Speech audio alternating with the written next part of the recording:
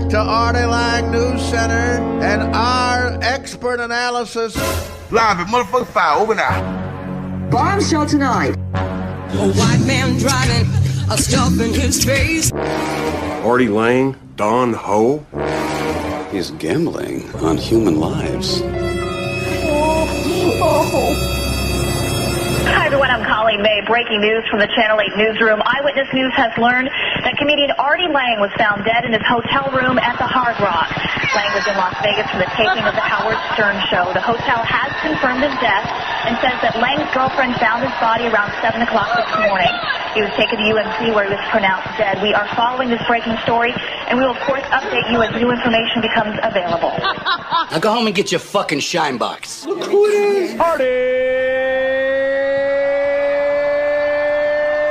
Don't make me break my foot off in your ass. Uh, eh, well, listen, uh, this is. Are we on the air? Yes, we are. Good. Good enough. you know, for a little while. But the great Ben Bailey is here. I'm going to do the. the, Oh, the wow, the great, great. Thanks, great, uh, great comic, and uh, you know is uh, you know was the host of a. I guess you could definitely call it what's now a cult classic show. It was really popular. I uh, I used to see it all the time on the road at night, Cash Cab, and. Uh, you know, Ben and I didn't know each other well, well, but um, it was always friendly when I saw him. And I, I, uh, I was with my uncle and my cousin, and uh, uh, three Gindaloons looking for a restaurant in the Lower East Side. And then, well, my uncle kept saying, like, "What changed around here?" Like, we get it, all right. That's what New York does. It changes. you It's know. so different. Right. Last time he was here, Natalie Wood was standing right there. Last time I was here. well, Christopher Walken drowned her. or something. but uh, yeah, he was here on the set of Splendor in the Grass. Was the last time. He I have a, I, Changed so much. I have an uncle Perry who There's a bridge to Brooklyn. they built a few of them. There's a few enclosures. Uh, my my uh, uncle Par, uh, this guy's father. I was just telling Dan, you know, it just makes me laugh. He walks around all day. He's 84 years old. He- He's got that voice activated thing. You yell a name into the phone, and it dials it. And he's he's got socks and sandals right out of Central Casting with a V-neck like guinea tea. And he walks around all day screaming into the phone names like Ed Del Vecchio. And he gets I a- know a guy named Right. Ed Del Vecchio. Everybody for does. real. Everybody does. And he gets like, and he goes, he goes, Tony out of bottle. and then he gets me, he goes, Tony fucking out of bottle. this thing don't work. And he gets like a florist. He gets like a motto's florist. Who's this? Put your father on. I said, this is uh, a, a motto's florist. What?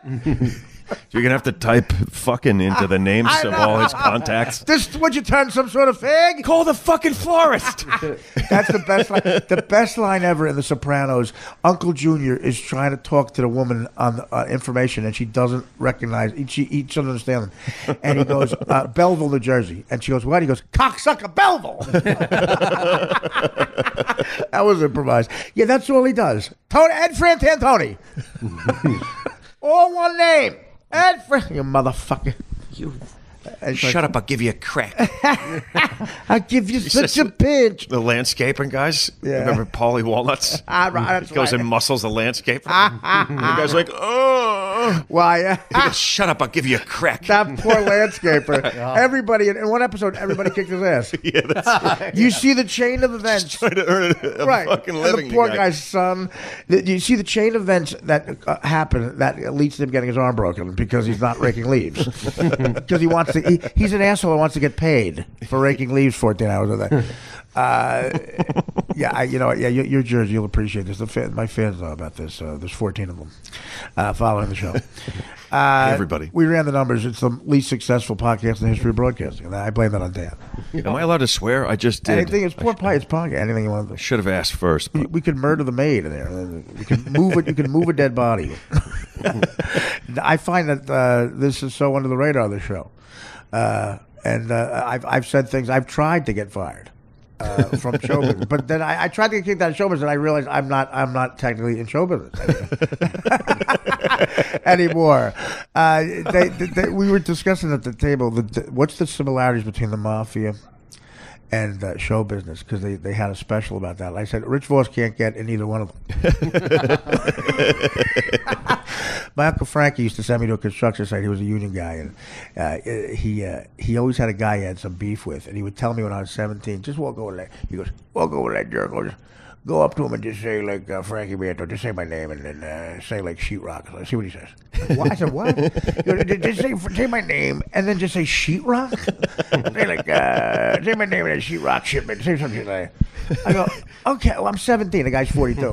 I go all right. So I find a guy. So at the next barbecue, he looks. He comes over. I had this exact conversation, Ben, with Michael Frank. I'm going to say 42 times. He'll make me do that, and he comes over. He goes, "Do you see that guy? What'd he say? Then what'd you say? Then what'd he do? then what'd you do? then what did he say when you did that? He's a jerk off. it never fails. It never fucking fails. Michael Frank's dead ten years. I feel like digging him up and trying to make him say that. Like, uh, hey, hey, oh, I, I- would avoid him for like until I can make a gabagool sandwich. Get some sustenance from the conversation. Oh, that was Oh, brilliant. Yeah, oh, jerk off. What'd you say? What'd you say? He didn't Remember remember. what you say when you said that? What'd he do when you said He never remembered my name. He go, hey, Wo- hey, hey, hey, Wooly. He called me Wooly. Hey, Wooly, come here. I go, what? He goes, he goes, did you see that guy? What'd he say? Then what'd you say? Then what'd he do? Then what'd you do? Then what'd he say when you did that? He's a jerk. I, I, you know, after a while, I He's just, a after a while, I just cut to the point. I said, "You see that guy? Yeah, he's a jerk off." We just- I get it. I get it. We did every guy that ever walked by. Oh yeah. Well, that, that's the thing. I didn't go to. You know, we're talking about education. What is your education, Ben? I do. Uh, I'm largely uh, uh, uneducated. I've, you're from the uneducated Bailey. I've gone to the school of hard knocks. Uh, well, listen, F. Lee Bailey, George Bailey, a lot of famous. George Bailey- Bailey's my grandfather. Well, yeah, and he was from uh, uh, It's a Wonderful Life. Too. Born in the same year as George Bailey that- in the movie. Is that true? Yeah. And uh, so, what? Now you're from Ch- Chatham, you said. Yeah. You're Jersey. Yeah, guy. I grew up in Chatham. And uh, that's a good town, Chatham. Chatham, a- Chatham, shit right at him. Is that the slogan? was that the uh, the white cheerleader? Chatham, Chatham, shit right out. Bla- the black chicks in high school, the cheerleading they did was so superior to the white chicks, and I would say like Jimmy the Greek was drunk, but he was right. They have an extra bone in their ankle. I don't care. And that's not racist. They have an extra bone in their ankle. Did he say that? You remember Is Jimmy? that true? Oh, Jimmy the Greek said that. That's how I got fired. oh, I thought he. Uh, that's some what I thought he said. I thought he said, was talking about the Some uppity football reporter- players Oh no, that we well here Howard Cosell saying it was said- larger. they were larger and stronger as they were bred to Right, be. that's so Jimmy the Greek. That's that was all, Jimmy the that's Greek, all right? part of the same insane monologue. and then Howard said, "Look Howard at that Co- little monkey go!" about uh, Alvin about- Garrett. Yeah. Oh, it's, Alvin yeah. Garrett. Alvin that who- I thought it was Joe Morris. It was well, Alvin Garrett on the uh, Joe Morris. Actually, uh, th- no one would give him shit because he actually does look. Well, we're going. I uh, the, the, the we'll, we'll go on. Good one. Leave it in. Good one, which reminds me of the problem with this business. well, I said the other day I went to the uh, uh, uh, Black Lives Matter rally, and I'm not political. I just wanted to see if I got my wallet back. and I, Oh, they must have. They must have. Gone. Where were you when you said that? I was uh, at a barbecue with Michael Che's. Chase. no, Michael. I, I actually, all the black comics defended me. This was the nicest thing ever. These guys did. I don't know why, they, they, they- because they knew it was a joke. We tell jokes for a living. Uh, remember that the, the guy, the fat guy uh, in Staten Island, uh, who said "I can't breathe," and that was the slogan, "I can't breathe" for a while. And remember that guy got choked out. yes, You know, I do. talking about the big fat guy. So uh, I uh, I said, you know, the slogans. I'm all for, uh, you know, uh, the, the the the plight of the blacks and uh, equality, but these slogans are affecting my sex life. I was having sex with a black chick the other day, and she just screamed out in the middle of it, "I can't breathe." and I said, "Well, can we have to get political?" and she said, "No, you're on my rib. I can't breathe." I turned it into a fat joke. It got a big laugh. One person on Twitter was all mad at me, and uh, it turned into a thing.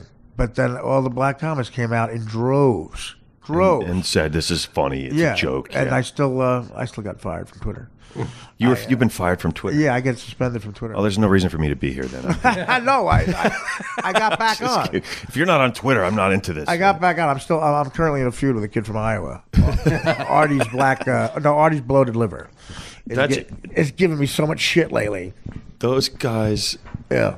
Came to your aid. They did They get it that it was no, they joke. did. It's- And Michael Che is a great guy. He's a powerful guy because of SNL. He's the type of kid who'll be running show business one day. You know, Yeah. And- and funny and just like uh, efficient. Yeah. Uh, everything I'm not. He's a very nice guy. And he's the greatest guy in the world. you And talk he- to him, you're like, wow, this guy, he's nicer than, Yeah, I've, than you know, maybe I- I've ever been in my life. Yeah, and I, I uh, Marina Franklin was very nice to me, and uh, and uh, you know, uh, uh, just a sweet girl. Well, as comedians, we feel like we can joke about anything and everything. Right. Well, sometimes you, I And- guess people go too But far. people who are not comedians uh, or don't are not big fans of comedy or don't are always in tune with that. They Right. don't. They don't. Well, no. Like I mean, there's time- people in your life that think that's funny, and there's people Oh, that are like, "That's over the line, Artie." Um, well, I, I You know I, who those people I are, got right? in trouble. Right? No, I got in trouble for this joke. It was the best joke I've. I'm not getting better than this. I I said uh, there was a guy in the news that he was a 102 year old Jewish guy who survived Auschwitz. Became an insanely successful. I'm so afraid of what you're well, about to say right now. listen to me. An insanely successful plumber, which how odd is that? That's- moves to Union County. He's like the most requested plumber in Union County, and I said he's the only guy ever, only person ever to make both Schindler's and Angie's List. and uh, I'm not getting better than that. and, uh, And did people go crazy on you well, about some that? people, you know, the anti-defamation. Before you know it, the end is in trouble. Uh, and uh, you know, Spielberg's. Uh, you, won't put me in Howard the Duck too. uh, no, I can't very. believe they're making that Fooled you again. after all these years. Boy, are you gullible. It's you. I just believe everything you say, no matter what. Artie told me he bought a water park. And, no, I said I bought. A, I'm the shittiest with money. I bought a, a water park in Flint, Michigan, two years ago. and I was like, "Oh my God, Artie! said- he said- are you serious?" Yeah, he said to me, "Dude, that's you- been in the news about water, like dude, you recently." Gotta, dude, you got to be getting killed on that. but a lot of the a lot of the kids who don't understand the, the signs still go. Uh, just dig it a little deeper. Just dig it deeper. By the way, I'm who's the I, I got the last laugh with the uh, the Black Lives Matter thing because a guy's cousin knew a guy that had the wallet. guy's cousin.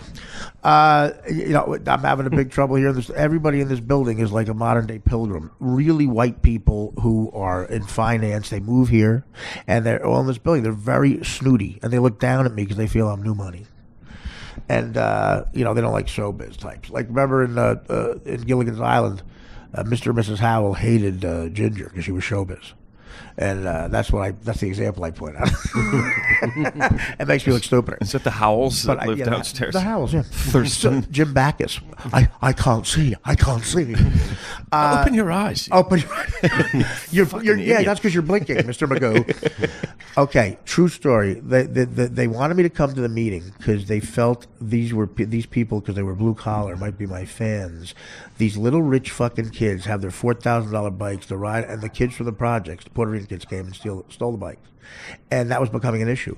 And these people were such assholes. I said, I got up and I said, listen, if I see a Puerto Rican kid stealing one of your kids' bikes, I am helping that kid steal the bike. I, I, I, and if he doesn't doesn't steal the bike, I will I will get the bike later on and bring it to the kid's home and say, "This is now your bike, Peppy." and I will say, "Here, fellas Nevada, Happy New Year." Uh, I don't like these little kids. They have attitudes. They're already they're already ordering me around. Oh, they're, f- entitled. Seven years old. Entitled little guys. Yeah, they're, they're very, they're very like you know. One kid had a One Direction shirt on, and it was just me and him in the uh, like eight years old.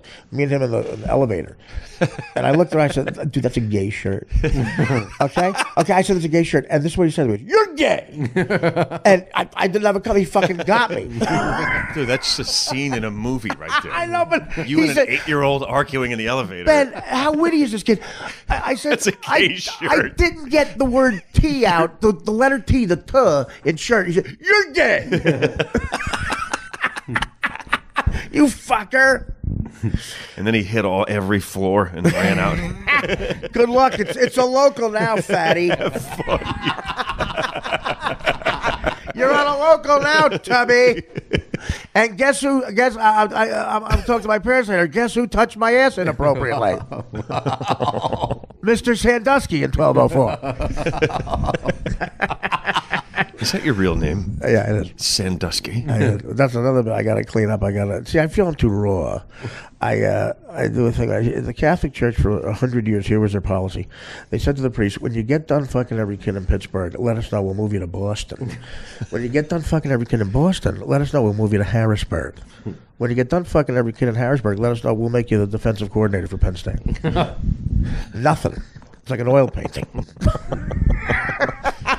But uh, listen, I, I I like it better now as a as a jaded comic when people don't laugh because I like making these young kids mad more than I like making them laugh. I want to offend them. I think you're reminding them of shit they don't want to be reminded of. well, they're not prepared when you say what- that. Well, you I know, thi- like, yeah, you're right.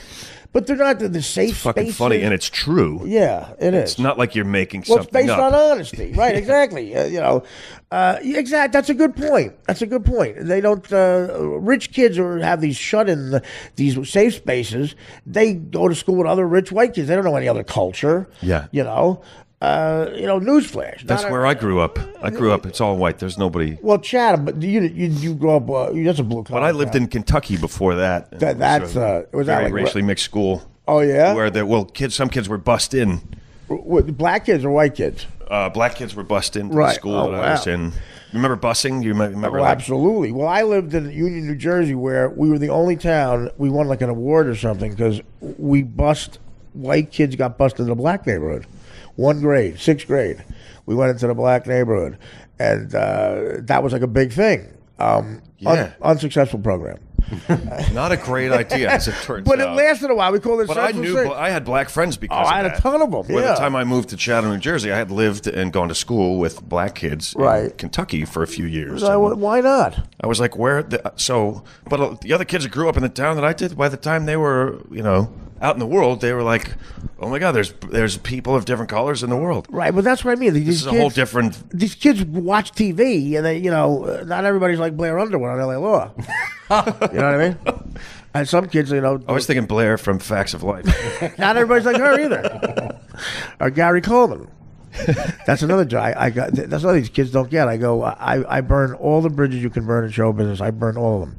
As a matter of fact, I was on a crack den in L.A. once, and I accidentally burned Todd Bridges. they sit there again. I said, Google Todd Bridges. You'll love that job. You'll love it. And it doesn't work with Lloyd Bridges. I told Estee that it doesn't work with Jeff or Lloyd Bridges. Artie changed. Bo, maybe. Yeah, maybe Bo. Bo. Bo, yeah, Bo's disgusting. I, yeah, but one of my first jokes I got I got trouble with with Estee. I said, um, I said, uh, you know, the, in Florida, I read in a science magazine. Uh, joke's unbelievable, right there. I'm reading a science magazine, but uh, I, I, said- This is a ridiculous premise. I said, "Shut up! Get off the stage. That's that's ridiculous. Uh, you don't have a water park in Flint, Michigan. We just Googled you. I still can't believe you bought that place. I love it. You know what? It's, I, if, if nothing else, I'm keeping it for my family. it's a nice weekend getaway.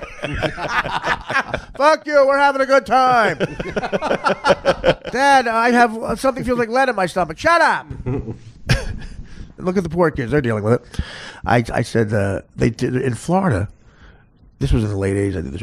And when I first started, I said in Florida they're teaching certain dolphins how to speak, and uh, Mark Duper's up to full sentences. And uh, he was, you know, African American wide receiver for the uh, Dolphins. And the guy said, "Do it with Dan Marino." I go, I go, uh, I'm not doing the joke with Dan Marino. Why? It doesn't work with Dan Marino. He's very articulate. Do you get it? It's teaching a guy how to speak. The guy can't put two fucking words together. And uh, I'm not, he wanted me to try it with Dan Marino. I said, "You try it with Dan Marino. I'm not going to bomb up there." And uh, you know, then me and Estee got into a wrestling match. She's tough. Auntie, try it with Dan Marino. And then get up, Louis here. Move over. I tell you, know, I, I've been there a long time. The- but You Ben will back me up on this. If Ben was there, he would have defended me. I'm sitting there talking to Estee. We're having a wonderful conversation. He looks, she, she looks over my shoulder and she goes, Louis here. She goes, get up. Holy shit, I pulled a muscle Yeah. trying to get out of there. Did- It's funny. It's a it's a you know you get a different uh, thing Oh, depending on who's who's in there. You know. no, absolutely. Once in a while, I'm the big shot in there. Not Yeah, often, uh, it's but a- it's different than when I'm, you know, Now, what do you do? You when I'm seventh on the list. I'm like, I gotta go I- find well, a seat no, over you know what front. sucks is when you hear like uh, Guy Code is here. Who's here? Guy Code. Guy Code. I'm getting up for guy code. I was like, who are? I, I didn't know who any of those dudes were. Me neither. I like But they those- all those have- guys well, are they- good, though. Well, they go on tour. They all have three minutes. 84 of them got to go on tour. Oh, I think they're nice guys though.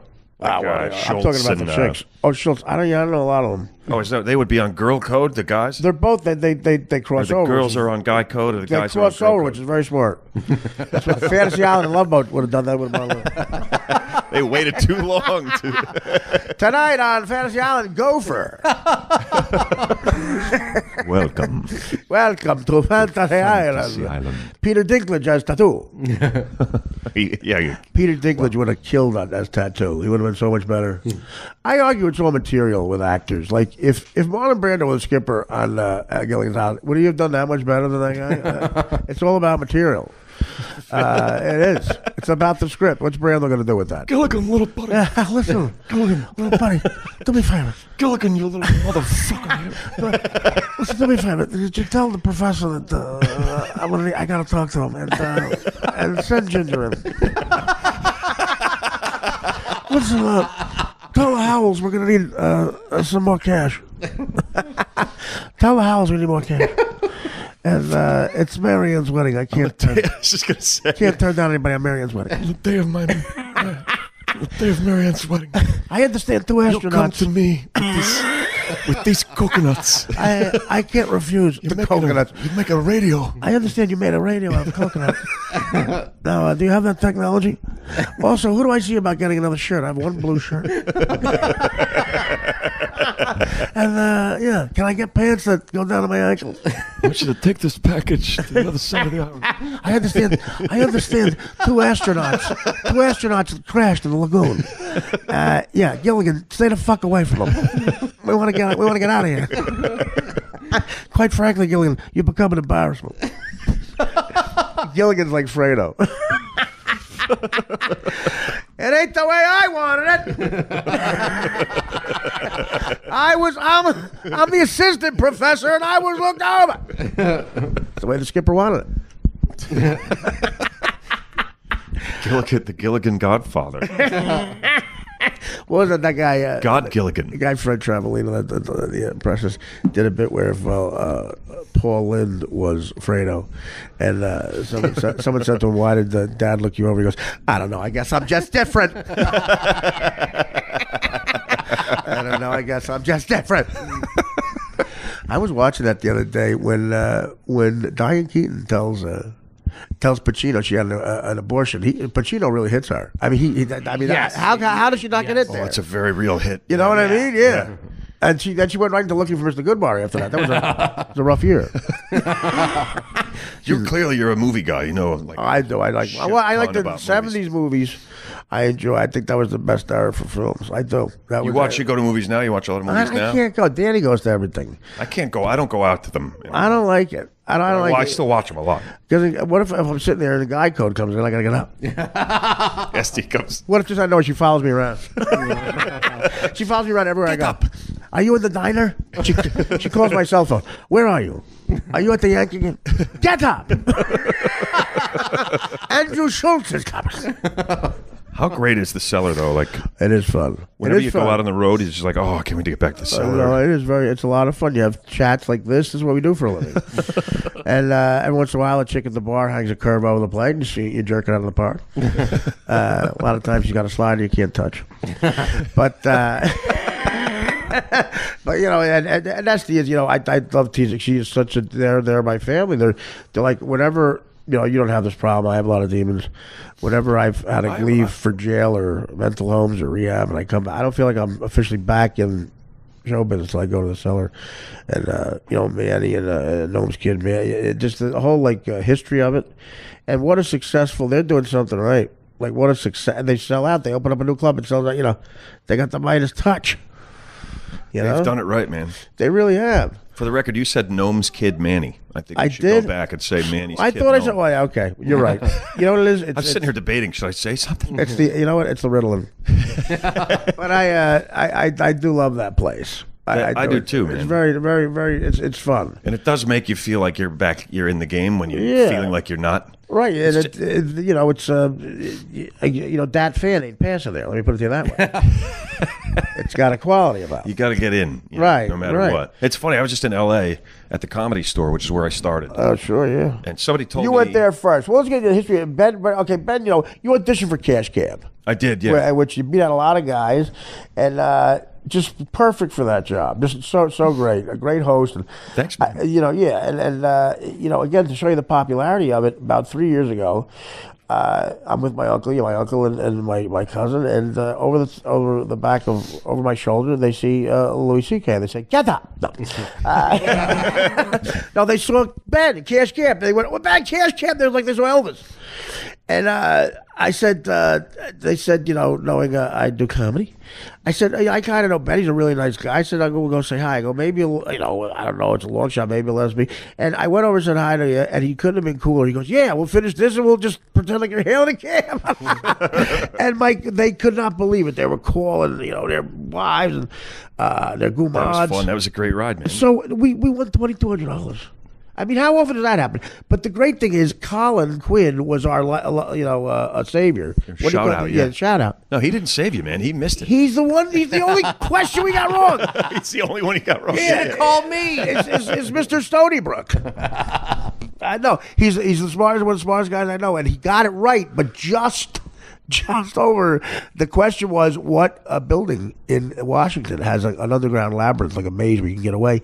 And you know, I thought the Pentagon, blah blah. And Colin got it, which was Congress, but he just Yeah, you're right. He missed the Missed time. it. Yeah, it was just after. That's but right. we answered all the almost every other question. We won twenty two hundred bucks, and uh, they were ecstatic. And, was uh, great, dude. when it aired, it was like a really like we had a, they had a party. I've been on twenty two TV shows, never one party.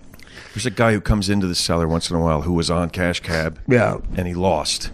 And then they told him it was going to be on. Right. And he had his whole family come over. That sucks, and man. it wasn't on. Oh. And he, he shows up at the cellar once It's in like a getting while. He bumped. just sits there and looks at me. it's, like getting, it's like getting bumped at your own house. I'm like, dude, I didn't have anything to do with that. I, here's Well- the number you could call this uh, the production company. I, when I was doing the Norm Show, sitcom on ABC was the most mainstream thing I ever did. They let me do Hollywood Squares. I said I have to do a week there because you did Hollywood Square? Yeah, I said I have to do it. That's the only thing my grandmother bragged about that I ever did. Artie's on Hollywood Squares. Well, I'm not permanent. I'm like I'm Whoopi. I got every bet every question wrong Everyone roll. all week. Every question wrong. Finally, I just tried to be like an old school comic. Every question I said, "My my wife." but the way I cost this woman about ten grand at the end was so terrible. Tom Bergeron says, "Who this woman ten thousand dollars." And I'll take Artie to win. Okay. Oh. Which I never felt more pressure in my life after that sentence. I'll take Artie to win. Never in my life. so she she uh, the question is who did Bill Clinton say was his uh, favorite person in the history of the 20, uh, 21st century? Uh, and I was saying, well, I know it's not Monica Lewinsky. uh, I, so I said, uh, I was such a motherfucker. I said, listen, sweetie, I just saw him interviewed. I just saw this interview today. There's no way I'm wrong. It's it's it's it's Gandhi. I, I said no. It's uh, JFK. it's JFK. I just saw it. She goes, "You saw an interview? Yeah. Well, if you saw the interview, I'll go with him." And he went, "Ugh, Gandhi." it got an audible boo, an audible like boo. but uh, yeah. But that's the idea, right? You, And since then, Bruce Vilanch has not returned a call. Funniest line ever on the road. Uh, Nick DiPaolo and Colin Quinn go in. Uh, they're doing a gig in Albany. They go to La Quinta Inn in a room that hadn't been washed, and it was disgusting. And Colin said, "It smells like Bruce Vilanch tried to kick coke for two weeks in here." Could that be more descriptive? La Quinta. But so so Ben, you know, really made him. The, the, you look back, you go, "There's no one who could have been better at that job." You know, it's like really great. Oh, and that's so nice. you were saying the comedy store. So you're from New Jersey. You went out to the to, to L.A. first. I went to L.A. I like threw it all in. I What year's this? This is '93. Okay.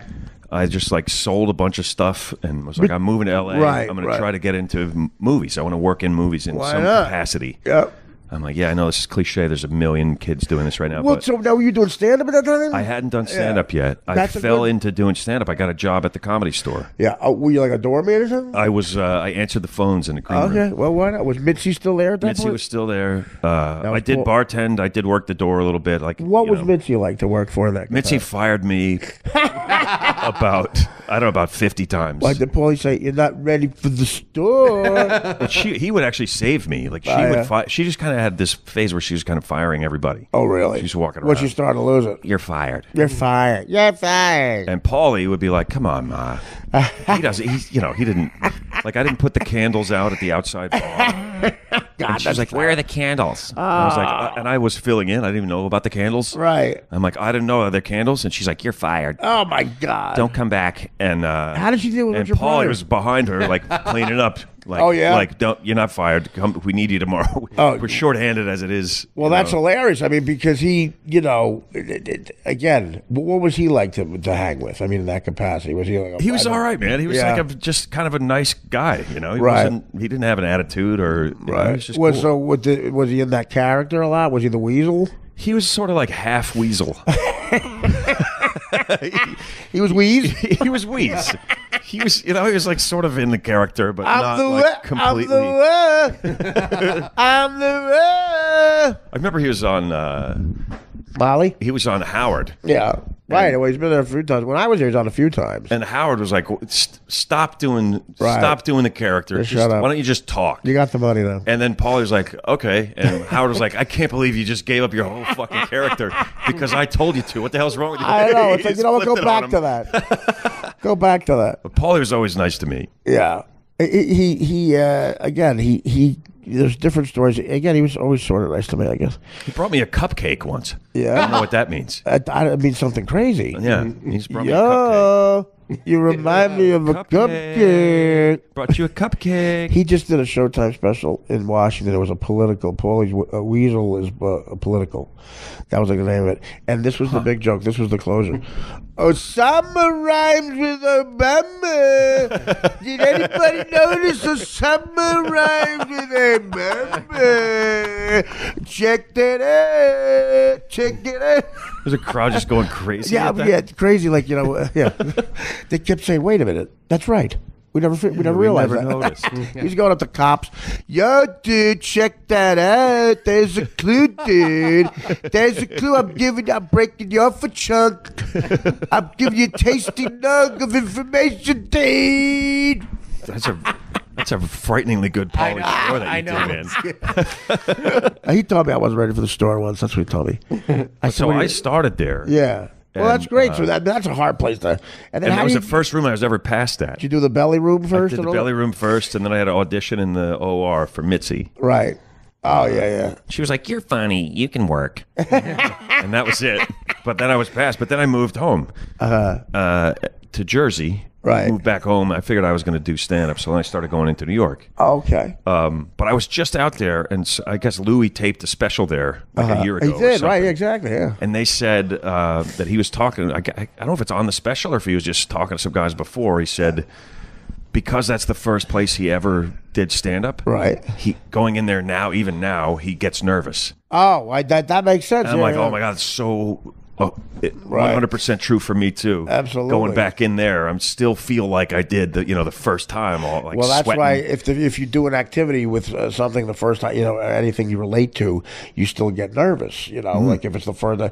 That's why I always get nervous when I, I fuck a 300 pound Puerto Rican chick. because I say I'm going right back to day one.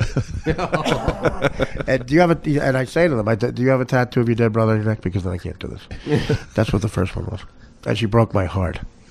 Drug mule. True story. The chick I lost my virginity to was it became a drug mule, and um, I wanted to write a movie called My Version of Serendipity, where uh, years later I'm doing a line of coke, and I realize it came out of her ass. Oh God! She shit it like through some magical thing. I go, wait a minute, is that you, Alejandro? is that the scent of Alejandro? I know it was in your ass. that can only be Alejandro's ass. And then she's somewhere like you know at gunpoint in the Best Western. Oh God! And she gets like a tingle in her ass. Goes, "Whoa, is that you out there? You owe me fifty bucks." uh, but you know that's intimidating to get up at the comedy store. I mean, that, cause I, Yeah. I- they wanted me to go to the belly room. I was on Manti- I was on a show. I was a regular at a bunch of clubs in New York, and I got I got chosen to go to uh, L.A. with a job on a network show. Still intimidated, still hard. They wanted me to go to the belly room, and I thought it was a fat joke. I said, "All right, whatever." Not going to the belly room. Ha ha. But it's like a real upstairs. It's a real and little it's- room upstairs, There's yeah. ghosts of Richard Pryor there. You know what I mean? Yeah, man. It's an intimidating room. but is crazy, yeah. You just sort of went. That's that's great that you did it that way. You That's the first place. The belly room is the first place I ever did a spot. Uh huh. Wow. Uh, yeah. I got a laugh. I said um, I was really nervous coming up here, but then I remembered from the Brady Bunch to just picture everyone in their underwear. That's right. That's the first thing I ever said on stage. that Marsha Janice, right? Yeah. That's great. And I was like, so you know, like some big fat guy. I was like, "You look great in those panties or something," and got and got a, la- a little bit of a laugh. Right, right, right. And imme- I, immediately, I was like, "Oh my god, Go with that. Is that, does I'm that doing." feel good? That Yeah. feels so great. I felt like. I was home. You know, when I got a laugh, I was like, "Oh, this is that- this is it." the best feeling ever. Yeah. The best feeling so ever. Lucky Yeah. looking back that all these little things happened the way they did Right. that put me in that spot Yeah, i never would have like sought it out Everything goes back to that last. You know, you, you feel like uh, you'll never forget that last spot. You know, that first that first spot. Yeah. And uh, you know, it, it, it's it's it's hard when it takes a while. Some people like Seinfeld said he was funny from the first time he got up there. It's hard to believe uh, that anybody is, but uh, because it's so it's so it's such an odd thing to do, like get up in front of strangers, Yeah. and say because you're already telling them you already have an arrogant attitude. Like I think not only do I think what I have to say is funny and interesting, I think you'll overpay for drinks to hear it. You know, that's essentially what we're saying. Look at Yeah. the look at a club like the Comedy or, or any club. They they make people wait in the rain, or and, and they get in there. They the cover charge is usually overcharged. They pay fourteen bucks for a bottle of Rolling Rock. You got to buy two of them for you and the fucking broad you're with or whatever. I apologize. And uh, if you're in your safe space, I apologize. I uh, and and the only reason they get away with that, Ben, is because we're funny. That's the only reason they get away with it. It's because we can make the laughs man. right. That's it. And, uh, laugh and forget about this shit that ever- sucks in their life well, yeah. Did you ever deal with Lucien at uh, the comic strip? i knew Lucien. Yeah, he's right. He, uh, you know, he, would was say, harsh, I need a laugh from you every 11 seconds. so, so what the fuck is that? What Jesus? you go into that little closet Oh, in the front and have his discuss you know your chat about your act I failed like four times. He goes, I already have a fat Italian guy. I go, here or at home? is, is he decomposing in a should drum? let him go get a new one yeah, exactly. No, he but said he- to me he goes uh, he goes he was harsh. you have a you have a very funny act ben but uh, anyone could do it that, yeah, that's what he was like. He's like, but I am doing it. I, uh, no, I, I, I, again, I burn a lot of bridges. I have a lot of anger. what are you so angry about, man? Oh, I don't know. I don't know. I, I, just, I could have, I could have, I could be in better shape, quite frankly. But I'm not gonna lie. Physical shape? I don't know. I, I, I have lupus, AIDS. I don't know why. I, I said it loud too. Lupus, AIDS. Dude, I went to uh, I went to Amsterdam. Well, me too. They came around. Remember, they came around. They were like, "We're doing a tour. We're going to bring all these New York comics to Holland." Oh no, I didn't do that. But I know uh, I did Edinburgh once. I never did that. Yeah. And I went. So I went to. Uh, That must have been fun. It was fun, man. I was Yeah. there for a while, and Lucien Vanessa was on the tour, so. Lucien was there. And I, I don't know if you noticed when you were there, but Dutch people are giants. Oh, they are big. They're yeah. so tall. I'm six foot six. Yeah. At least I used to be. I, know absolutely. And I would see uh, at least one woman every day in Holland that was as tall as I am. I need a stepladder And- to kiss. and- a stepladder to kiss a whore. And 10, 10 guys that were t- they're, they're way huge taller than me. They're like Hitler, the tallest Hitler people around. youth. Hitler youth. So God, you know Godfrey.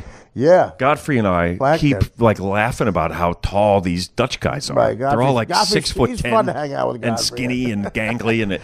So we're Yeah. and Lucien the whole time will not admit it. Right. He's like, I don't know why you keep making a big deal out of how tall these people are. They're, they're no taller than anybody else. we're not as smart as you. I'm like, Lucien, they're the tallest people in the world. While we're talking to him, these giant dudes are just walking by. So, like, two years go by after that tour. I'm at, I'm up at the comic strip, Yeah. and we're talking about this, how the Dutch people are so tall, and Lucien would never acknowledge it. Right. And I'm calling him out. I've like a little further along in my career, and I'm ready. I'm You're more willing to challenge him That's- on yeah, shit sure. instead of just sitting quietly so I don't lose my spots. Right. And I go, Lucien, I don't know why you wouldn't acknowledge it. There was just giant Dutch dudes all over the place. and you kept saying, oh, no, no, no. and so while we're talking, this dude comes in the front door of the comic strip.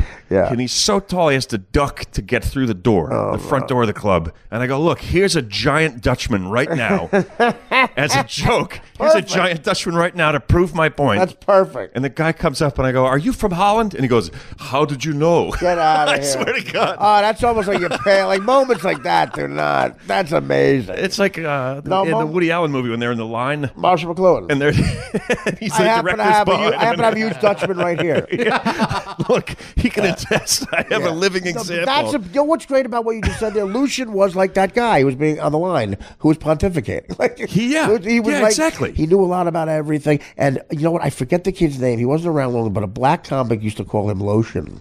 Lotion. oh, it used to make, and it pissed him off so bad. He's going, Lotion, man, like, like, like trying to be overly friendly, like Lotion. It's my man Lotion. Oh, how great is that lotion? Uh, you know, I and uh, you, you'll laugh at this now because I have a, a story about a big Dutchman. I was in Amsterdam uh, for a, a friend's bachelor party, and I was it was at the height of my drug use, and I, I was in withdrawals, and I went to the red, red light district. I got a whore. Not for not a lot of money. She was like an Arizona nine. I mean, you know, like eighty bucks. Uh, An Arizona sh- nine. shekels, whatever that was. Yeah, very pretty. So that's good. And yeah, very very pretty. At Arizona, I was like, I didn't know Arizona had its own Arizona- scale. uh, well, you know, for me it does because I'm, you know, a whoremonger. and I uh, and I and she she actually showed me around. She knew more than the tour guide. I called her whore guide. It's in my book. I copyrighted that. I made no money with it. But I, I uh, she she she goes back to the, my hotel room. We're crushing up oxycodone all weekend, and it was the, I didn't go to my friend's bachelor party because who cares? I was with this whore. Oh, God. I was with this hot chick. She had drugs, and uh, I was like, it was a great time. If your young kids are listening, that's not a great time. You should you should work out. There's nothing fun about You should that. get, get some kale and work out. But uh, I uh, so we go on. We're in the my we're in a dark room. I'm in I'm in another country. I've never been there. I'm in a dark kitchen doing oxycodone with a whore. And I said, let's get out. Let's get out and be positive today. We were together for two days, and, uh, and I'm on the meter by the way. So uh, so she this lunch is on me. Uh, we go out. and We get in one of the, like, yeah, sure it is. we, we go out of the canal and we get in the canal and one of those things, a gondola, whatever the fuck. And we got what what you're talking about, a big blonde, like a big fucking guy, and he knows he's giving the tour shit in his accent, and uh, he's looking around. He sees the Anne Frank house, and he goes, and that is the Anne Frank house. Very sad, very sad. What happens there? Very sad. Moment of silence. He puts his head down. He puts his head down. And I guess he counts what's like an appropriate time. And then he gets up, and I swear to God, he gets up and goes, and, and he points to the building next to the Anne Frank house. and goes, And that is a great place for pancakes.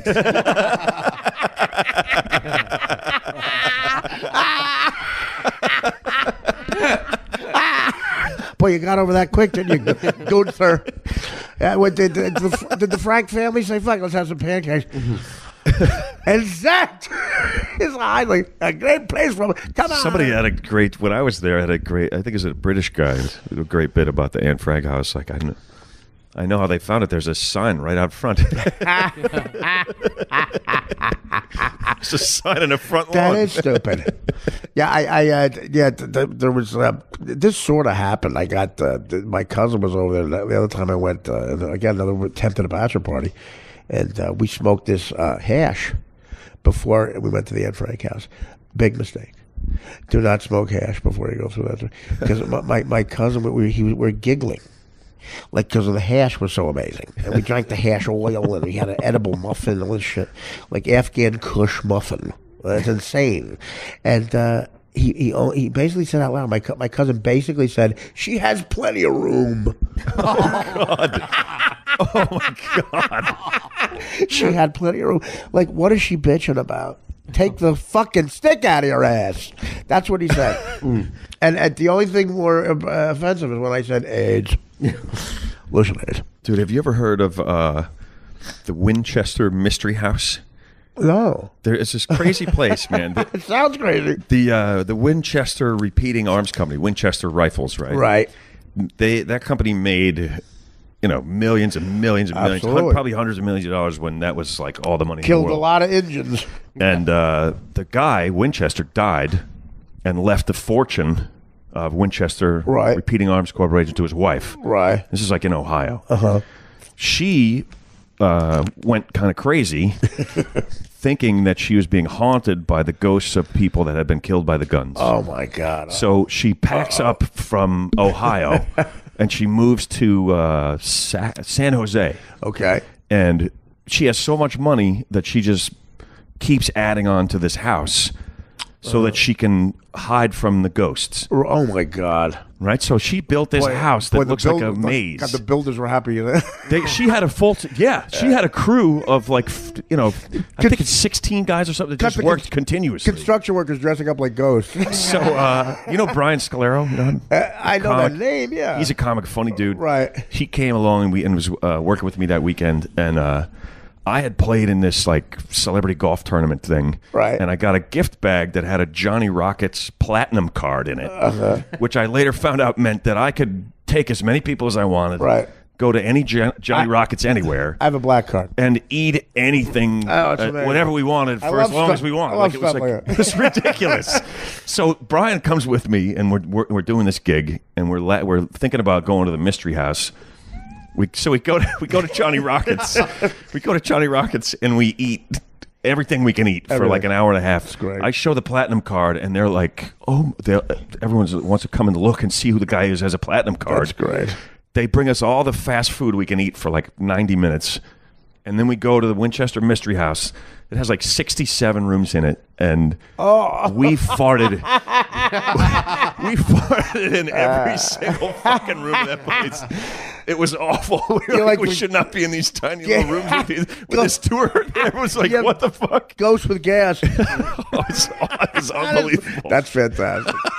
There's so many. I couldn't help but think of that when you're talking No, there's about so many funny. There's so many funny layers to that story. It's so ridiculous. Yeah, I tried to get the platinum card uh, for Johnny Rockets. They told me they they they couldn't put it. Uh, they started losing money with it after the, the festival the year before uh, with the guy who won it. And I said, "Oh, that's." And then I uh, Ralphie May last the year. Ralphie May put Johnny Rockets out of business. I can do that. I think at the comic shop, I think I was the one. I single handedly remember uh, in the early '90s, comics. If you had a spot at the comic shop, you drank for free.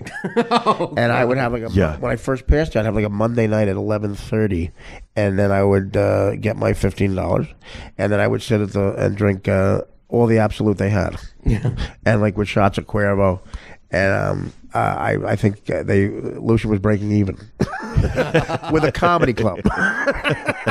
he said, "All right, listen, you can't do this anymore." And no, no comic could then drink. Um, that was a nice. Yeah, you so, get ha- you get like one beer. so when did you when you move to uh, Cash Cab? Obviously, is based in New York. Did you move to New York because of that? No, no, I, I I only lived in L.A. for about six months. Okay. I started doing stand up, figured out that's what I wanted to So do. all that happened in six months at the store, at the comedy store. yeah, yeah, yeah, yeah. And, And I- then I, moved home and started doing it in New York. When I first met Mitzi Shore, I realized that Louie Anderson was doing an impression of her. That they sound- they sound exactly the same. It sounded a lot alike. Oh my god! They do. He just won an Emmy For what? for playing Zach's mom. Is he On oh, Zach's Louie show. Anderson? Yeah. Oh, really? Yeah. Did, did did Louie Anderson make the big announcement ever in his life? I don't know. Yeah. I, okay. I think so. I think Let's it's in move one of his books. Let me get that. One. no, there- there- there's a great story. A, a disc jockey sent this to us, and Howard. Um, he called um, Rodney Dangerfield, and Rodney Dangerfield thought it was Louie Anderson. It's a terrible impression, but Rodney was out of it. It was towards the end of his life. Right. And this was touching too, because Rodney was such a nice guy. He helped helped a lot of comics I heard. And Louie, he- this kid does a bad a Kansas City disc jockey. Like, hey, we're gonna call. Like, guess he went. We're gonna call. We got Rodney's number, man, and we're gonna call. It's Louie. I'm gonna do my Louie impression. So literally, this is the kid's Louie impression. Hey, Rodney, it's Louie Anderson. Rodney's Louie Anderson. Yeah, I just blew the five o'clock whistle. I'm back here at 23 minutes on the hot side of nine o'clock. I took a minute to make my uh, bladder gladder. Yeah, and uh, That's perfect. I'm taking two kids to the uh, to the Green Day show. Uh, they're gonna sing their anti-Trump song. That's a quintessential DJ. That was fucking great. Hey, what's going on? This lover boy is going to blow the five o'clock whistle. It's 59 degrees. and we got to got my character, uh, my character, a guy with the gout's coming up. And I do a guy with a gout. It's a big story. Did Rod, do they actually have Rodney on the They call, phone? they call Rodney up and they go, well, the kid. Louie, you sound- you sound so different. Louie says, he goes, Louie, you sound like uh, Wolfman Jack. no, and he did. I'm, I'm exaggerating. He did a pretty good, but but but Rodney fell for it. He goes, he thought it was Louie Anderson. He goes, uh, Rodney, it's Louie. I'm in Las Vegas and I'm drunk. And, and what is so touching about it, Rodney really is trying to help. He goes, come on, get out of there, kid. You don't want to be there. You don't want to join. I, I've been depressed in Vegas. Come on, buddy. I'll pick you up at the airport. Like he's being like really nice. And Louie goes, oh, you know, I, I'm afraid of the uh, planes in Vegas. He goes, why? What's the matter? You fly all the time. He goes, uh, last time I was on the, the plane, uh, the, the stewardess, this beautiful woman tried to hit on me. And then there's a pause. And Ronnie goes, well, she's barking up the wrong tree there.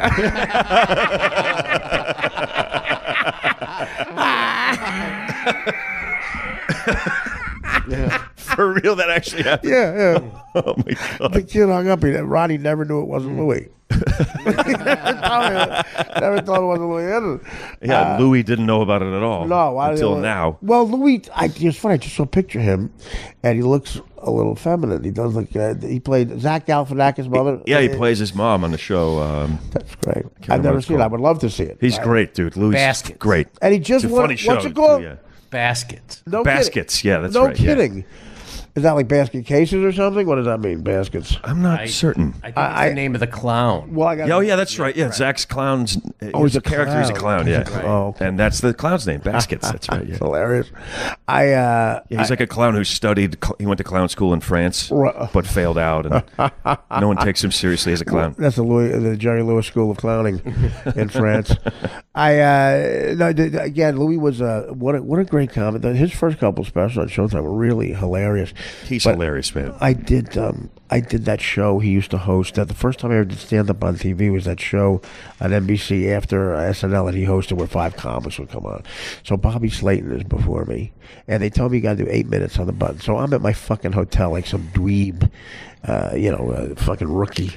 Timing out exactly eight minutes, Right. And I've done the road with these jokes. I I know the fucking amount of laughter. It's the most regimented I've ever been in my life. And uh, Bobby Slayton, you know, goes on does a loose forty five minutes. of Proud work. Wait, no, you fag, man. No, you fag in front of. You're fucking fag in front of. He is the pit bull of comedy. He is. He's great. But I'm like, well, I had my girlfriend. I introduced my girlfriend to him in Las Vegas. I, I said, "This is my girlfriend, Bobby." And he went, "How you doing, sweetie?" And he looks at me and goes, "Hey, do you want to go to Hooters Casino and do some coke?" Once again, Bob, let's take this again.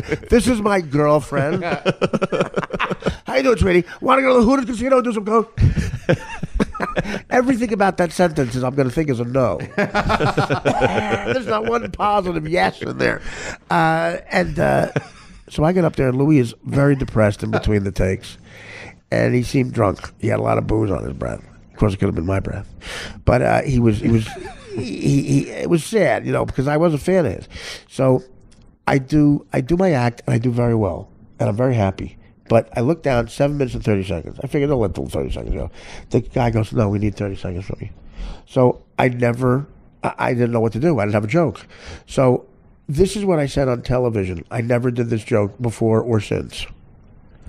I said, um, my trainer told me to treat my body like a temple, and the problem is I'm a Nazi. That's what I said. uh, I said, I'm going through my own private Kristallnacht, which made it worse. Okay. Quiet, dead, full. dead, dead silence. Matter of fact, no, not only dead silence. You can hear Bobby Slayton coughing in the back, asking for his check. But now, what is this? Eight grand? no. no, you can hear the hatred.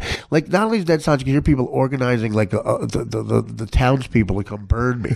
Come and chase you out of I, town. with I, I don't know what I don't know what made me think on the plane. I said maybe that's a joke somewhere there. I never did on television. I debuted it, and I haven't done it. Since. I, this is the first time I've done it. Since. Sometimes you don't say the the, the exact thing you. I said not to temp. Yeah. Dude, I did this. I did So, an so, but, but, but uh, listen. This, oh, okay, this is okay, how yeah, this go ends. go ahead. Okay, it's dead silence, and then all you hear after like what seems like a year of silence. Anyway, he comes out. He goes, "Listen, Artie, that was." There's applause. He goes, "That was great." Fake smile plastered his face. That was great. Listen, that last thing, we'll just cut that out. That's no big deal. That happens all the time. We'll cut that out. The guy goes, "And we're out." Camera's off, and Lou goes, and puts his head down, pouting, and just walks away from me. I tried to shake his hand. I, I never saw him again.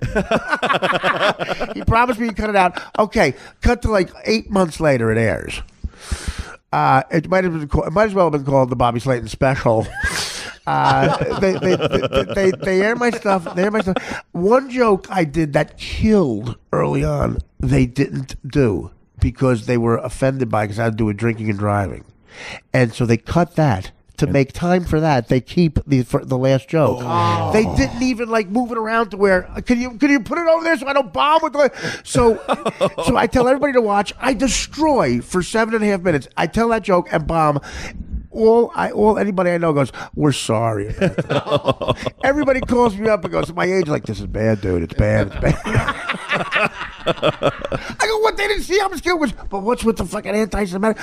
I didn't, they cut the joke for drinking and driving. They left in like I'm fucking Goebbels. They left it at the end. What are you making a joke about how you're treating yourself anyway? I know it's my body's a temple, and I Kristallnacht.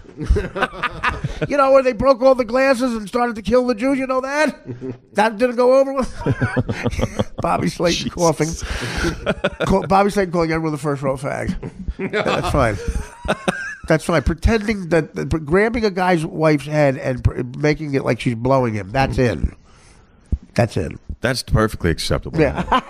What year was this? This is the first time I ever did stand up on TV. Ninety four, whatever it is, and and uh, and, and then Things were different then. Still, Well, very yeah. different from now, right? Right. Well, I guess Auschwitz has always been a thing, but I Yeah, that, that's still still now. From day fucking one. be an acceptable. But I, I, I, but the, the, the but like some of the stuff that Bobby was getting away with, probably yeah, that well, wouldn't fly now. And the funniest thing ever is Louie, Louie, Artie Lange, Artie Lange, everybody. the pa- as soon I felt so bad. As soon as the lights are off, he just, mm. just like a robot. We'll cut that out. Sure. You were great. Such energy. Such energy. Oh, and we're done. his head just, his leg goes limp. Um.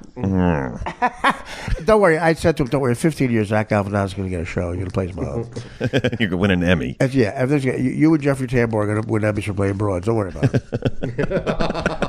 There's all these shows on now with political correctness, like Netflix is up under the radar. That these like Jeffrey Tambor with the trans was actually Trans America, right? Yeah. or transparent. Now, what do you do when you do? You have a? I feel like did you tell me you had a deal somewhere or something? Like what? What's going on with you? Uh, I'm launching a web platform. It's already launched, but That's it's got a whole bunch of stuff on it. It's got a new stand-up special. It's just my website, therealbenbailey.com. That's awesome. Now, what do you find that that must be great to do? Yeah, that I, So far, I've always good. loved your. Feels good, I've man. always loved your stand up. Ben has always made Oh, me laugh. Yeah, no, you're really you're one of those guys. You're just a funny guy, man. I, I, I th- that's why my uncle kind of said, "Yeah, he's a nice guy. Maybe he'll." Like immediate, Maybe you'll give us a lift. well, like immediate, but like immediate acceptance. Like I got them on a TV show in a second, and I said, I don't want to hear you guys bitch about anything ever again, ever again. How about a fucking, uh, you know, uh, no, I'm not bringing a gift Thanksgiving. You're on cash cab, and I let them, I let them out of 22 Hyundai. Uh, You know, what the hell? That's kind of guy I am. You let them keep it. I said split it. What do I give a shit? I'm magnanimous. I was getting some blood work back. I don't think I'd be around. You guys can split this yeah, unless why I don't you- live. Yeah, why don't you split it? I got uh, something's gonna happen. And then I want my third. I've got AIDS. I, I, uh, when you, uh, so, I mean, but the freedom of a stand-up special like that, it must be great. To, It feels good, man. I like Yeah. it's. A, it feels like a risk. Right. Like about a year ago, I was like, you know what? I'm. I'm tired of trying to sell stuff, trying to convince people to make worst? the stuff I want to make, trying to get on a show that I don't have anything to do with the production of, or you know. Well, we have we have similar careers in the sense that you know we we uh, kick the last on something that people know us for, and you know uh, we're we're we're, uh, we're out there in the new world now where we're known, but you're adjusting still to this. What I'm dare You I gotta say, find another place to guy fit code in. kind of world Yeah. with technology. But what you're doing is like even with this podcast. I uh, I charge seven dollars a month. That's a quarter a day. A, guy still bitch about it. I don't want to hear it. I promise that they get like two hour podcasts. Like, oh, Artie, you know, you're a little light on the podcast. Shut up. quarter a day, dick lick. They got a fucking uh, 38 year old guys telling about a quarter a day. How emasculating. What the fuck do you do? Then don't listen to me. Dude, a buddy of mine had a garage sale, and uh, this these people came. They show. I don't know if you ever had a garage sale, but if you Yeah, do, we did it when I left my old people house. yeah. will show up. Right. You say seven a.m. The people will be there at six. They're, they're a rare breed of waiting, people. and Well, they my- come in. This woman comes in Yeah. and she's like looking around in his stuff. I can't remember what it was. It's like a set of coasters or something. right. and it was he had it he had it there for a dollar, and she was like, "How- "This is a dollar?"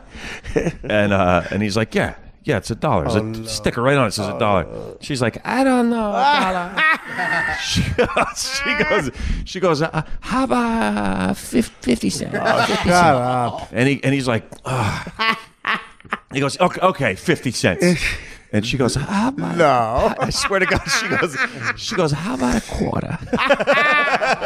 he goes, no. Yeah, stop. now No. I'm stepping. on- I'm, That's I'm it. putting the fucking line down. so then he, he's like, No, I I, felt, I felt like such an asshole uh-huh. that I didn't give up for another quarter. but it was principle. I'm like, it was the principle of the thing. well, how about that? You just made me think of how pathetic it was if I if I send out a two hour tape of a podcast. and They go quarter. How about ten cents? I'll give you a nickel. Pay whatever you like. My buddy had a garage sale once. True story. He had out an old fungo bat. He used to ground with an Adirondack bat, and he forgot that on the back of it, his father had written "Puerto Rican be good stick," Oh, Jesus. and uh, he got like ten bucks for it. My neighborhood went so bad. I had a garage take sale. They just took everything. People stole shit. I'm like, did you just steal my wind chimes? I got a piss. boom, boom, boom. All right, we'll be right back. I'm going to shut this door. You all right with that? Go right ahead, yeah. We're just telling stories about. Uh, we're back, Bailey. Uh, flying by with Ben Bailey, an hour and three minutes. Already, you're not going to get this quality stuff. Uh, well, where are you going to go? Quarter a day. Yeah, where are you going to WTF? How about 50 cents? Artie, I'll give you. I'll give you. Uh, I'm pretty sure I'm paying the kid to listen to the podcast.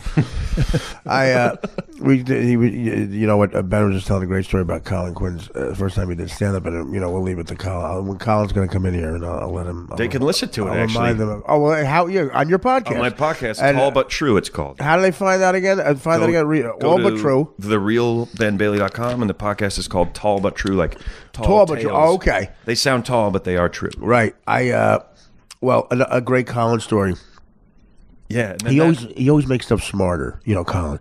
He always smartened up a joke. Hmm. I was with um, uh, me and Nick DiPaolo. We're on uh, the road, and uh, politically correct college, George Washington University. Oh, Jesus. And there's a, a, a blonde girl, cute young blonde girl, doing deaf language, you know, signs on the stage because it's a college, a sorority hired us, and she wanted to make sure deaf people could. Know.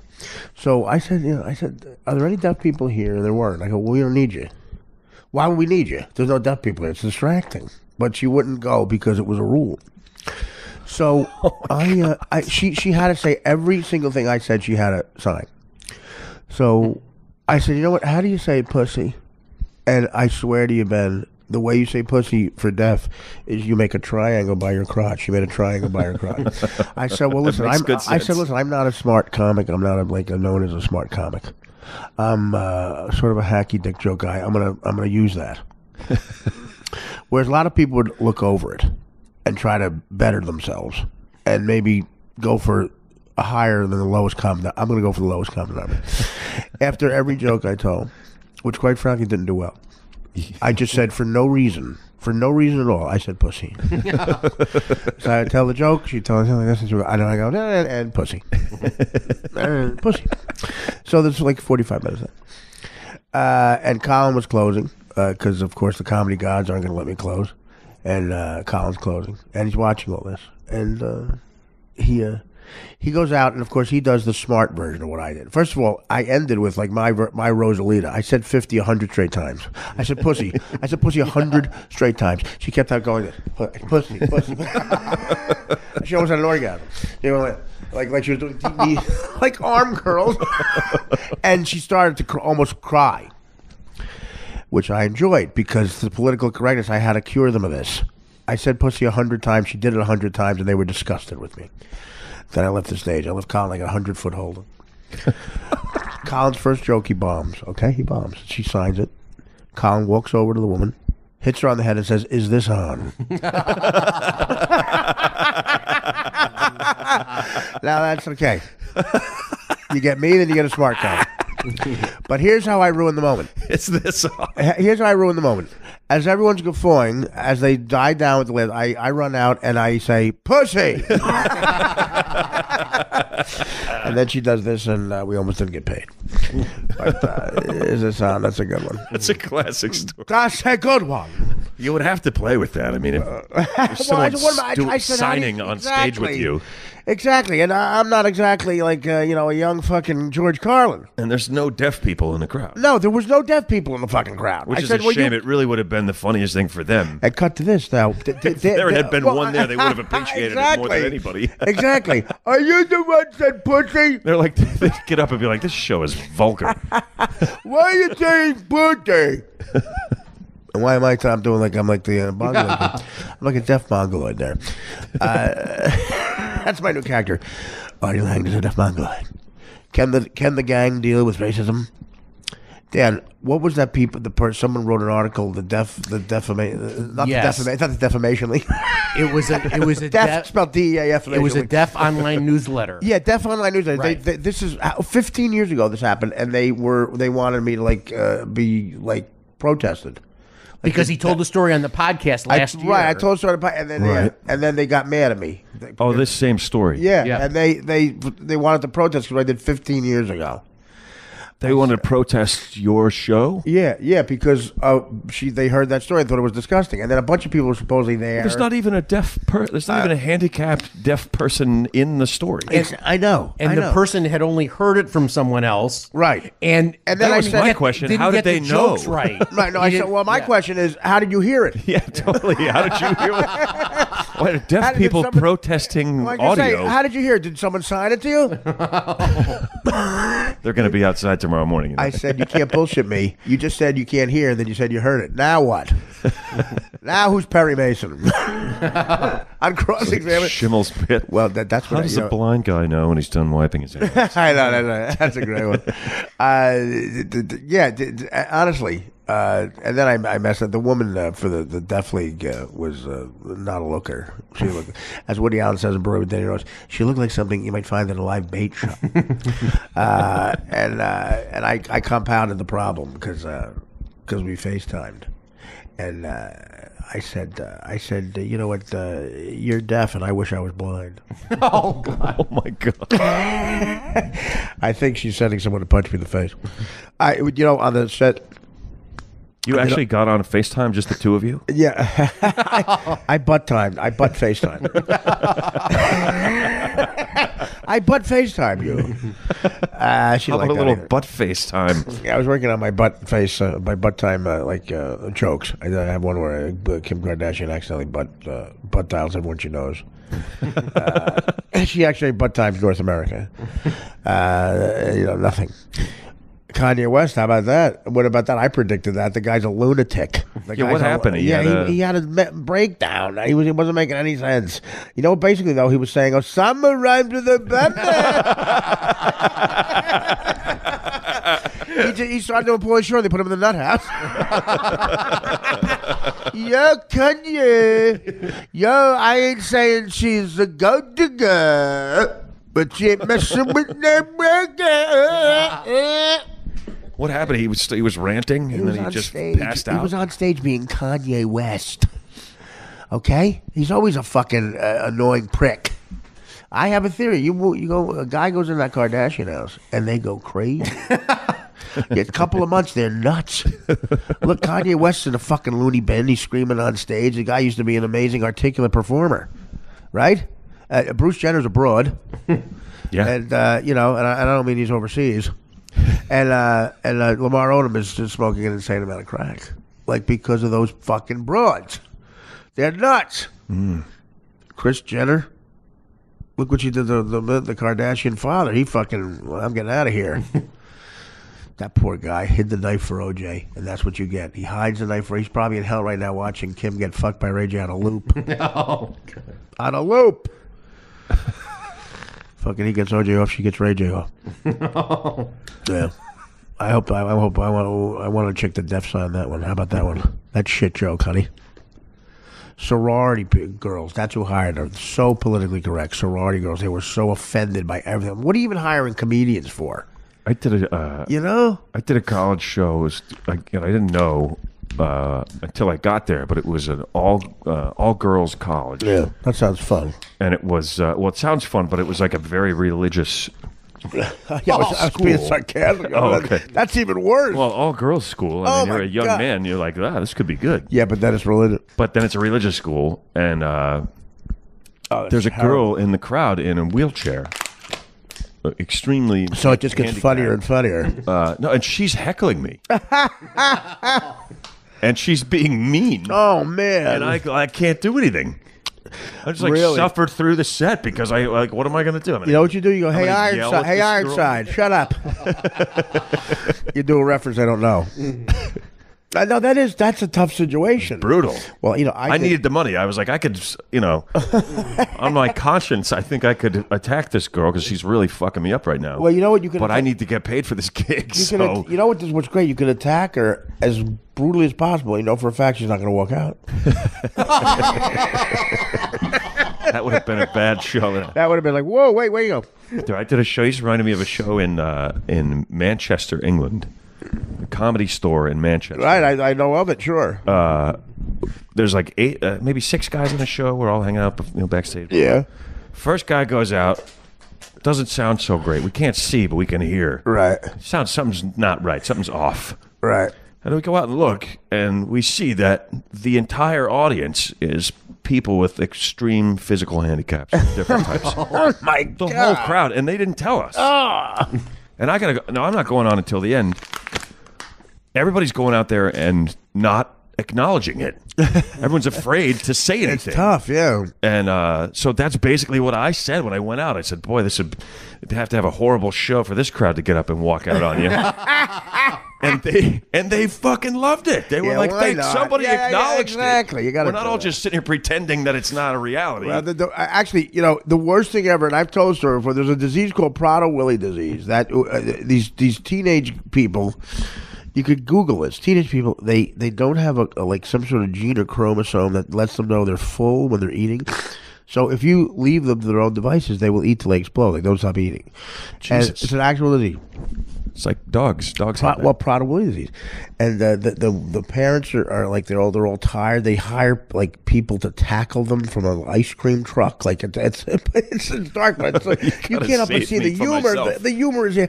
There's a there's one called uh, M- Madeline. It's the name of the 17 year old girl. She's 400 pounds. Uh, she looks like Dick Butkus, and uh, the the parents built a fence around her, which uh, you know uh, I think Trump should hire these same people for Mexico because uh, it's like she didn't have an ice cream bar. So I'm hired to do stand up there. I don't know why. I don't know why. I, I, I got these fat jokes, and I'm like, what am I going to do now? I get up there, and a woman uh, who uh, I didn't know she had an affliction. The, the, the end of the story gets that. She had a, a bandana around her head, and I thought she was like a biker or something. I don't know why. And uh, she had a big red bandana on her.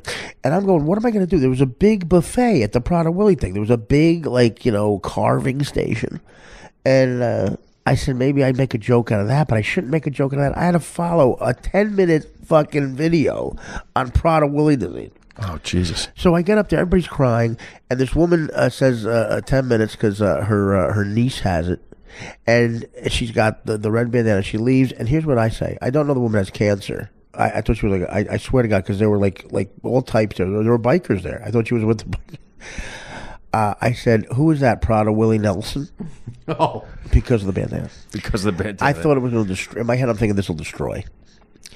There, there was like again, like a silence that could cut. The, the- like you, you felt the physical, like the silence was picking me up and, and slamming my nose into its knee. air was it- completely I removed said, from the room. Prada Willie Nelson. And uh, to this day, I stand by. I think it's funny, but uh, she has cancer, and she was like, cro- like I, I, I never, I, it's the only, I bailed. I didn't do the whole set, and I said, uh, I can't, uh, I can't get paid for this. They were going to pay. I said, I, I'll, I'll get my own way home. I'll, I'll pick up the hotel. I checked out of the hotel. I don't want the people to know where I was. I, I, I, it was, it was, it was the worst experience I've ever had in my life. You know, Wow. and I've been to Met Red games. I, I, I, I never said, I never thought, like, in other words, you get an instinct in this business. I never had a more wrong instinct of thinking Prada Willie Nelson would get a laugh. Wow. I should not have said Prada Willie Nelson.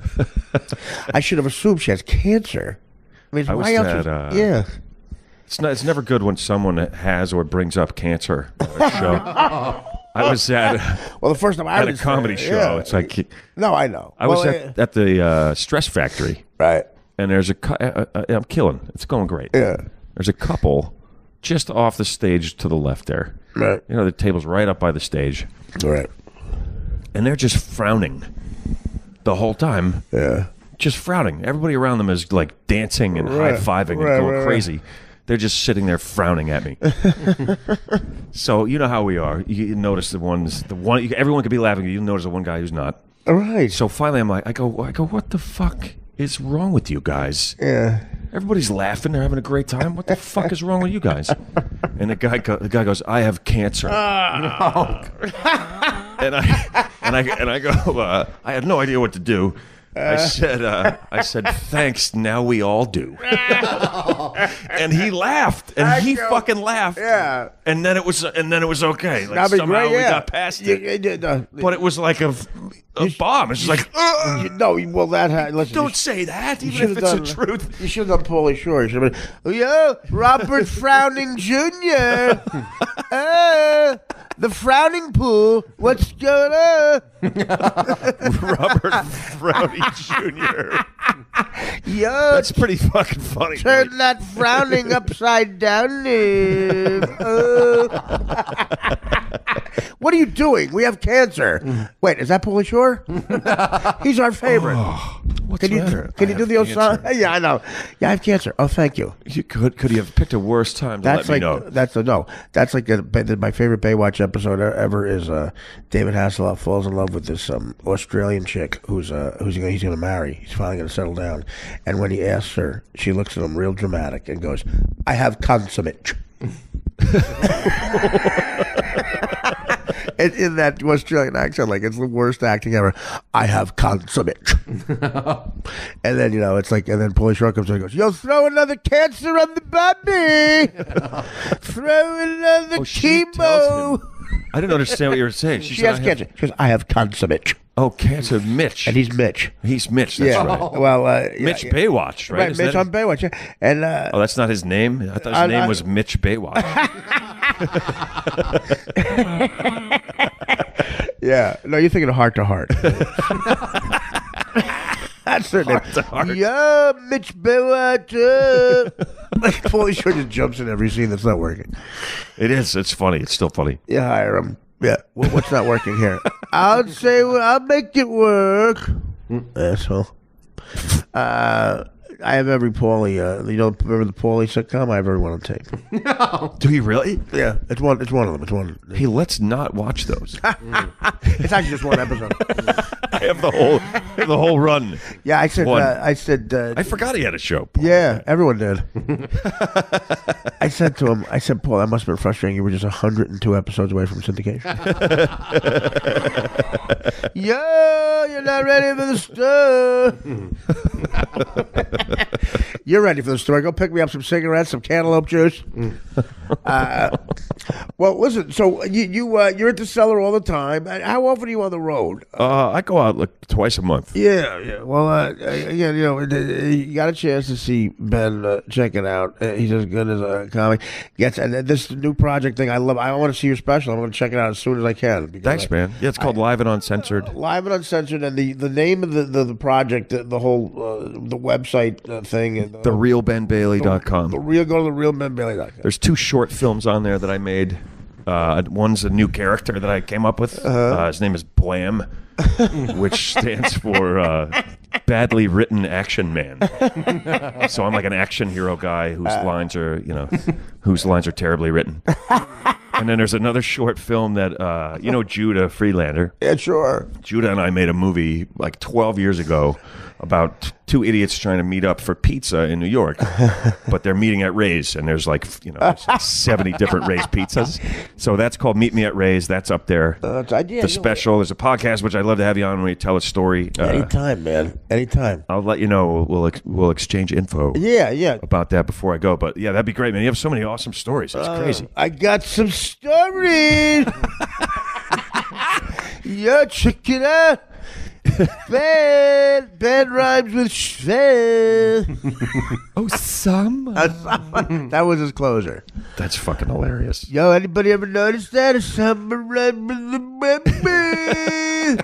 What's that about? Eh, we should look into that, Mr. FBI, man. he just fucks 46. The most frustrating thing, i- i- here's the answer. If you, if you dislike somebody, here's the worst answer they could give to this question. I said to him on Stern, hey, Pauly, how many Playboy playmates have you fucked? And he went, I don't know. I wanted to strangle him. He wasn't sure. I don't He know. couldn't remember how many. I, I don't know. Yeah, I don't know. If you say to me, Art, how many times uh, have you uh, have you mistaken stretch marks for for like a rash? I don't know. I don't, know. How many times did you fail math? I don't know. Every time, Yeah, exactly. Every time.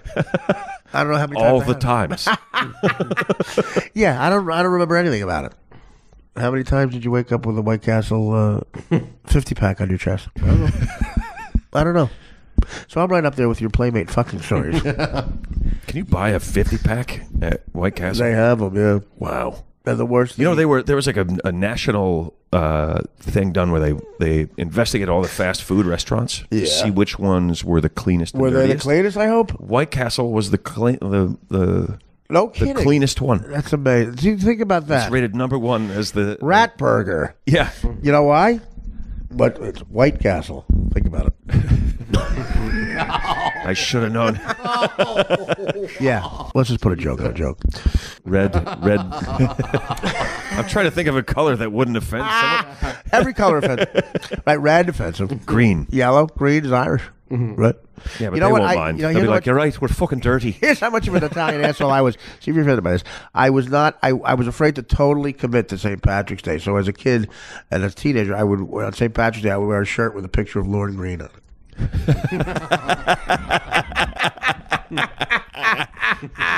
A bonanza shirt. Yeah, I do it. I find that young kids don't uh, laugh at that, so I change it to CeeLo Green. I use it. It's not, Oh, as, that's a good adjustment. not as funny. Uh, yo, Still pretty funny. It's still good. CeeLo and Lorne, are they related? I don't think so. Lorne Greene. Lorne Greene. And I was saying, About the youngest people who would get a Lorne Greene reference.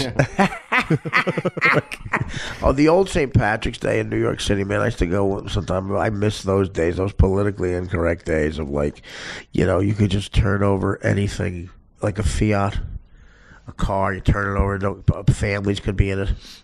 How about Giuliani? How honest he was with the Puerto Rican Day Parade. He would just go, "Listen, batten up the hatches. Do you have plywood? Just put it over your put it over your windows. and Get the hell out of town."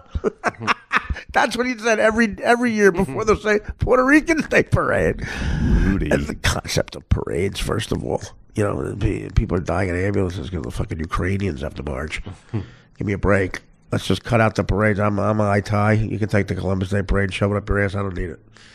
It's not that anymore anyway. People are changing that now too. Nothing's the same name anymore. You know, I, I when I was a kid, I used to go buy fireworks at uh, you ever buy fireworks on Canal Street there. Yup. Yeah.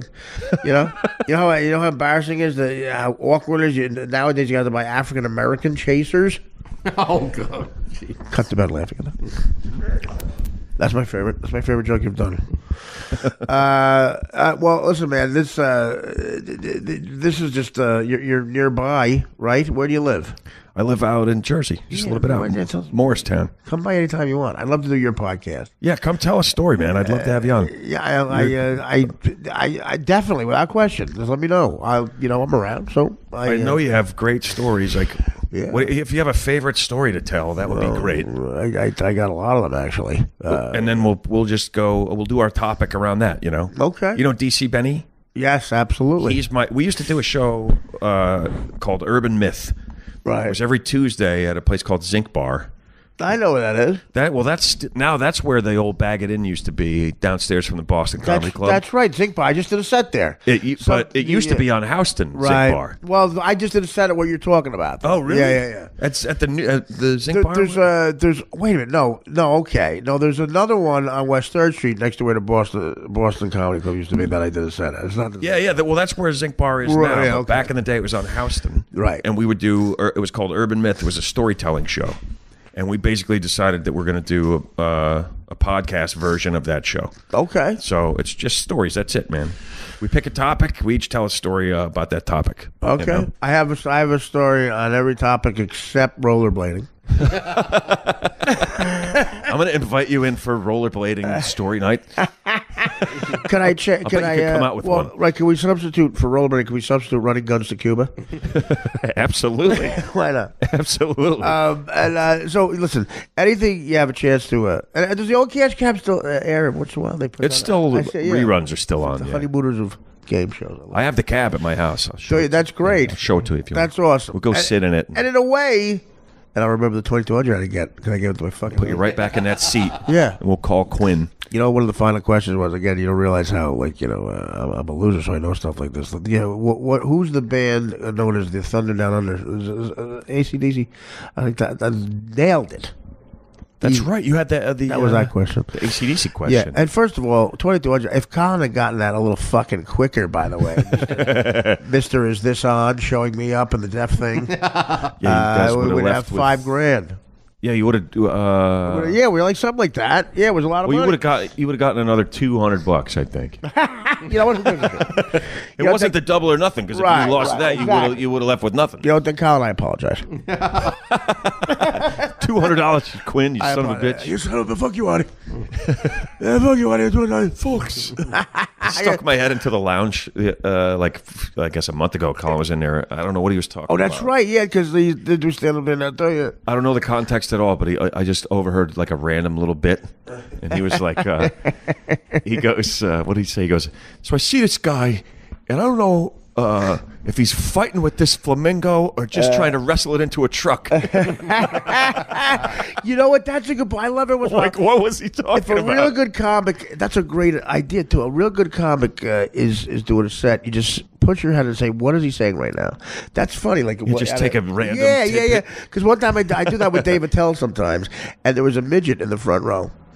And uh, he was in the midget's face, and all this is all I heard. What can't you reach today? oh, we have a little person here. he put him on the piano.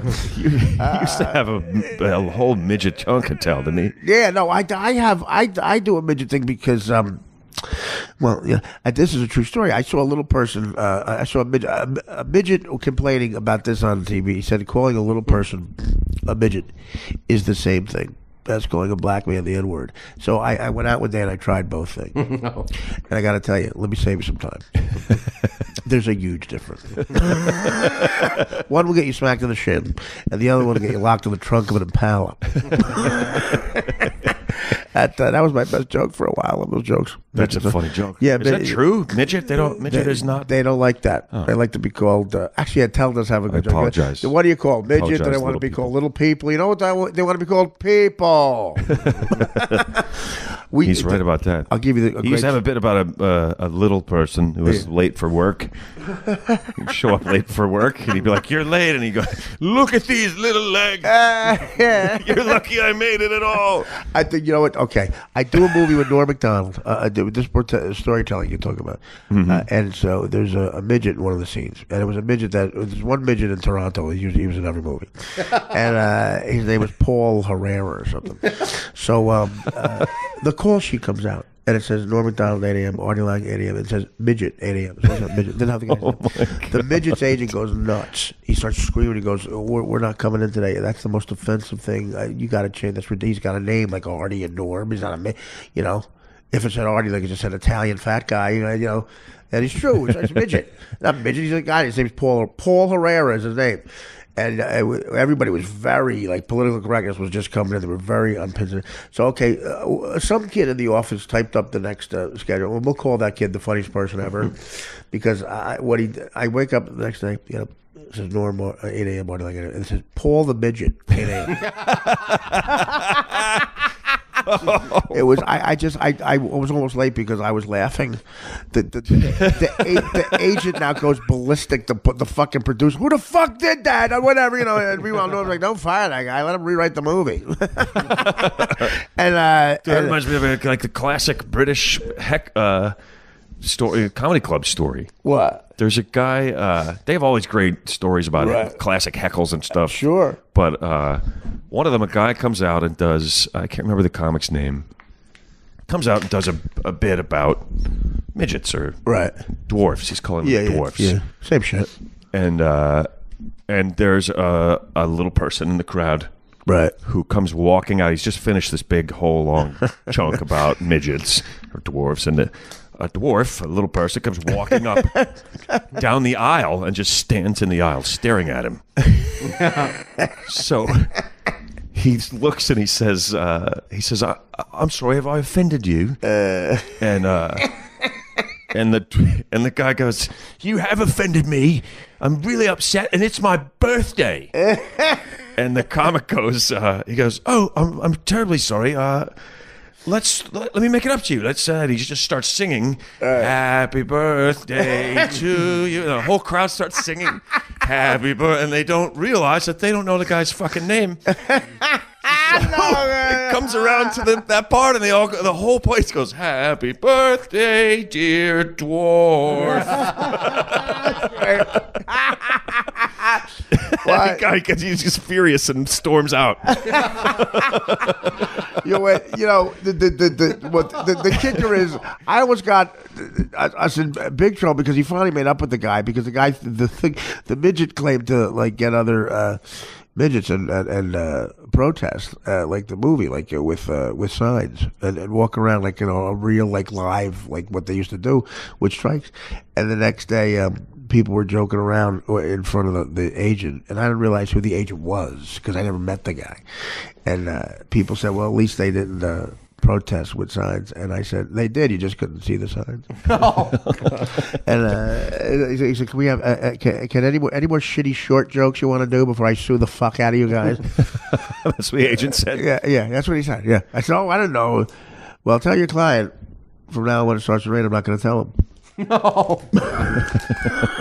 In his driver license picture, you can see his feet. We could go on forever. Uh, You know, it is actually offensive. They don't like to be called agents. midget agent. Oh, you know what? Actually, one of the, the, the- you remember the basketball player Anfernee Hardaway. Mm-hmm. Anfernee. Yep. This is true. His mother thought that was how you spelled Anthony. That's why his name's Anfernee. That's absolutely true. Yes, that's a true story. I did And not know Confirmed by Anfernee Hardaway. But I have to admit that I always wondered Well, yeah, confirmed by him. Anfernee is an And, and interesting again, name. It's not I get one you've heard before. Much like the Nazi thing, here's the joke I get in trouble with at the end of a Conan thing. I said, "Well, cut this out because this got booed too." I tell that, which is true, and then I said, "We have Patrick Ewing has a similar story," and he goes, "Conan says, really?" He goes, "Yeah, that's how his mother thought you spelled Anthony." anyway, the joke, of course, is Patrick's nowhere near. it. Okay, uh, I, uh, I Have you got in trouble for that? yeah. Well, Conan left it in. I said, throw me a fucking line here. Uh, Louis lives. Louis drunk, and he's leaving in the Nazi shit. Before you know it, I'll be, uh, you know, I'll be out of it. I'll be working construction on Friday. this fucking politically correct bullshit. That's why I'm podcasting. I don't care. We have no. It's just me and Dan. All I can offend is Dan, and that hasn't happened yet. At least He seems unoffendable over there. he It's doesn't- well, just- no, he's very- I am. no, He he's very smiles offended. and laughs When he no doesn't matter laugh- what. When he doesn't laugh, he's offended.